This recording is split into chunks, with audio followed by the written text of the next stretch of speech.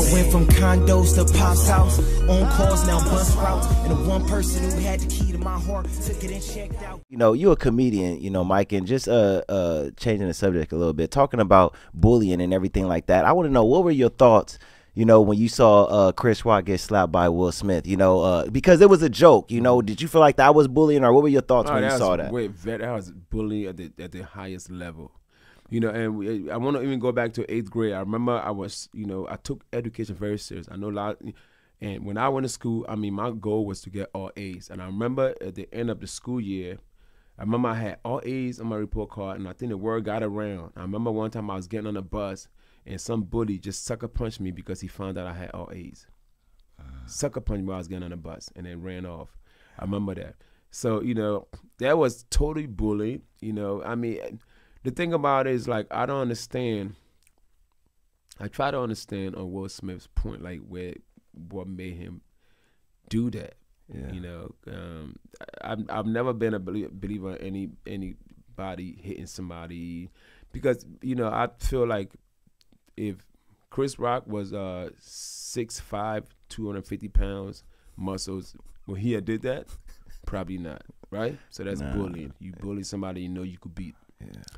Period. You know what I mean? So he was definitely wrong, and but How you think you would have reacted if that was you? If you was Chris Uh, Rock in that position?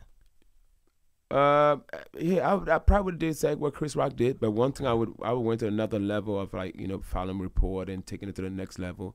I wouldn't let him get away with it. I'll do it the American way, you know. American, yeah, I would. Yes, you know, street this and that credibility. Yeah, nigga, when you 45, 50 years old, nigga, all that shit, you go by the law. Yeah, yeah. I would have called the cops on the nigga. you going to jail, motherfucker. Okay, you mean light skinned nigga in jail. On top of that, you know you went to jail, then I'ma sue you. Okay. Yeah, Now make sure you so broke, you have to move back with your auntie and uncle in Bel Air, motherfucker. you going back to Uncle Phil's house. You and uh, Carlton gonna be roommates again, my nigga. I would, I would have. tried. That's Oh, how I would have went. And I'm, I'm hoping, you know, there would. It, um, I mean, I then I try to like understand. I try to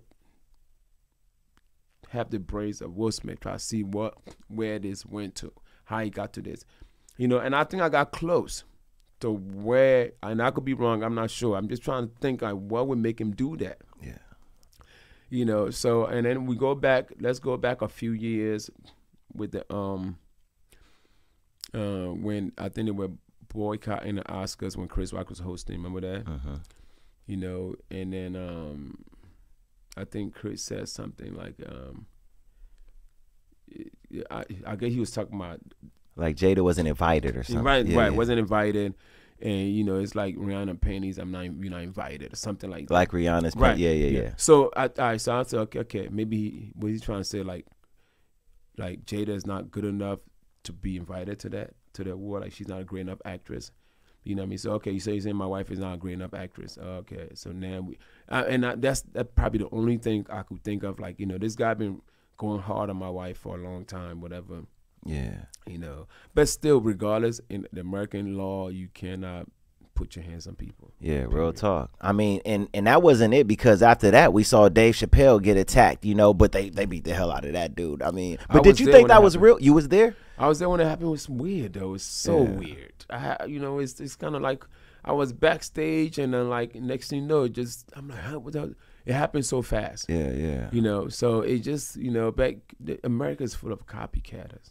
yeah, yeah. America's full of so much, you know, and a lot of time when people look up to people and people do things, and try to copycat them. Look at all these serial killers that copycat other serial killers, you know. So, Yeah. I mean, I'm not saying whether it's real or not. I mean, that guy was probably just a copycatter looking for attention, and he guys, I mean, he got his ass beat. He ended up with two left arms. I saw that nigga arms when he was done. He definitely had two left arms. He was walking there. backwards, my Yeah. Yeah. he was. He went. He was not needed and bow legged in Yeah. the arms at the same time. Yeah, yeah, man. So I don't, I don't. But yeah, but Will Smith was wrong, and, and he's trying, you know, and, and I know after the whole thing, he tried to find a way to make it work, work but yeah, you smack, smack me in front of the whole world, man. Yeah, I don't yeah. know if I could forgive you for that. yeah, real talk, man. I, I don't know. that's tough. You but don't, don't get it wrong, Chris Rock got something fun. Yeah.